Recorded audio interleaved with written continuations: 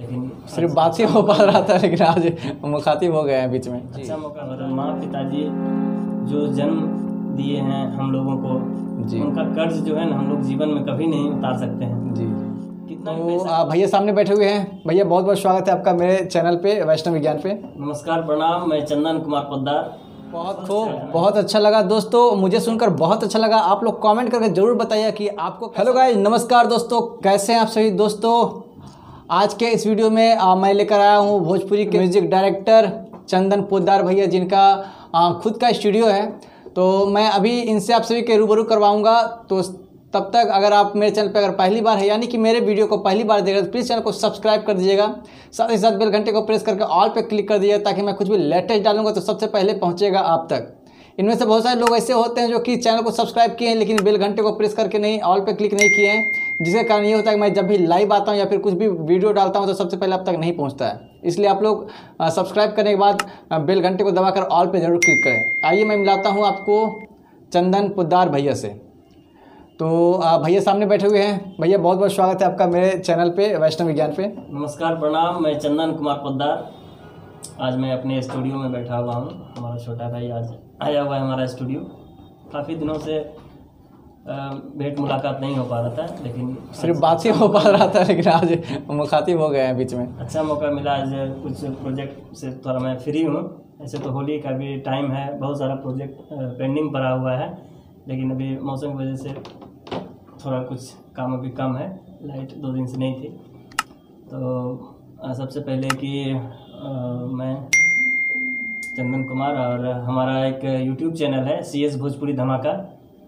उस चैनल पे आप हमारा सारा वीडियो को लाइक कीजिएगा और उस चैनल को सब्सक्राइब कर लीजिएगा। हमारा एक बेंजो कवर उस पर जाता है। जो भी मैं गाता बजाता हूँ हमारे चैनल पे जाता है। सी एस भोजपुरी धमाका हमारा चैनल है। उसको आप लोग ज़रूर सब्सक्राइब कर लीजिएगा। और आज हम बैठे हुए हैं तो कुछ गीत संगीत होना चाहिए। जी बिल्कुल बिल्कुल बिल्कुल। तो सबसे पहले तो एक भोजपुरी सॉन्ग मैं गाने जा रहा हूँ आज हाँ। जी क्या बात है। तो और मेरे जितने भी दर्शक देख रहे हैं प्लीज़ आप लोग कमेंट करके ज़रूर बताइए कि कैसा लग रहा है। अभी भैया सुनाने वाले हैं कैसा लगा आपको ये सॉन्ग तो आप लोग ज़रूर कमेंट करके बताइएगा। आइए शुरू करते हैं। आइए हाँ। जी। जैसा कि हम लोग जानते हैं दुनिया में सबसे प्रथम स्थान माँ पिताजी को ही देना चाहिए। जी। और माँ पिताजी जो जन्म दिए हैं हम लोगों को जी। उनका कर्ज जो है ना हम लोग जीवन में कभी नहीं उतार सकते हैं। जी कितना भी पैसा कमा लेंगे कितना भी बड़े आदमी बन जाएँगे लेकिन माँ और बाप का कोई आज तक कर्ज नहीं उतार पाया है जी। नहीं उतार सकेगा कभी नहीं। जीवन में कभी ऐसा नहीं हो सकता है। कभी ऐसा कोई कोई होता है लेकिन अपने माँ बाप को दिल दुखाता है लेकिन ऐसा नहीं होना चाहिए क्योंकि माँ बाप बहुत ही किस्मत वाला बहुत किस्मत वाले है को- सभी के माँ बाप अच्छे होते हैं। जी जी। है ना? तो उसी पे मैं एक गाना गाने जा रहा हूँ। तो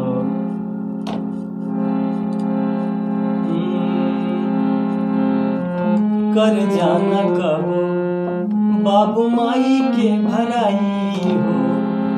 कर जाना कबो बाबू माई के भराई हो।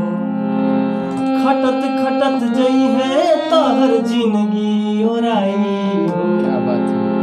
खटत खटत जई है तहर ज़िंदगी ओराई कर जान कबो बाबू माई के भराई हो? कर जान कबो बाबू माई के भराई हो? खटत खटत जई है तहर ज़िंदगी ओराई हो खटत खटत जई है तहर ज़िंदगी कर जाना कबो? बाबू माई के भराई हो। कर जाना कबो? बाबू माई के भराई हो। माँ बाप का कर्ज कभी नहीं हम लोग भर सकते हैं है ना?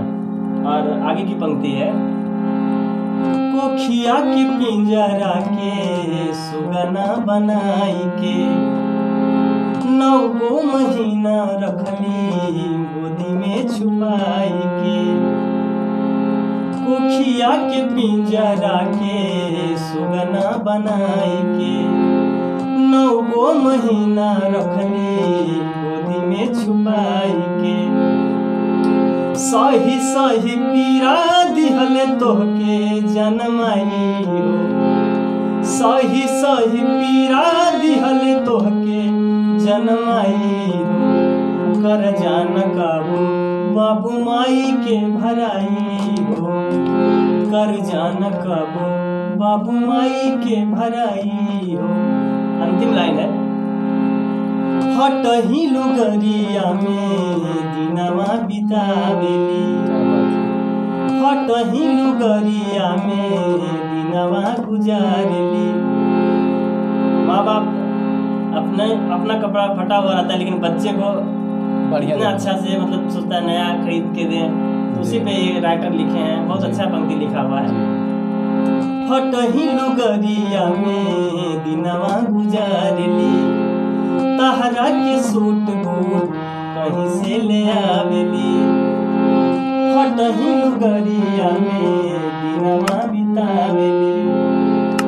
तहरा के सूट बूट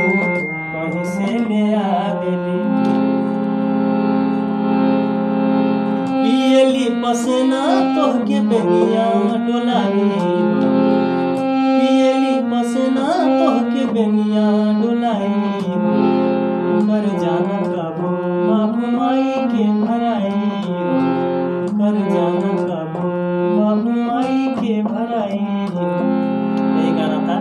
बहुत अच्छा खूब बहुत अच्छा लगा। दोस्तों मुझे सुनकर बहुत अच्छा लगा। आप लोग कमेंट करके ज़रूर बताइए कि आपको कैसा लगा। आ, उम्मीद करता हूँ दोस्तों आपको भी बहुत ही पसंद आया होगा। अगर पसंद आया तो प्लीज़ लाइक कमेंट और वीडियो को शेयर करना बिल्कुल भी मत भूलिएगा। और एक प्यार सा कमेंट ज़रूर कीजिएगा कैसा लगा, ज़रूर बताइएगा। मिलते हैं दोस्तों नेक्स्ट वीडियो में, तब तक के लिए जय हिंद बंदे मातरम। Bye bye thank you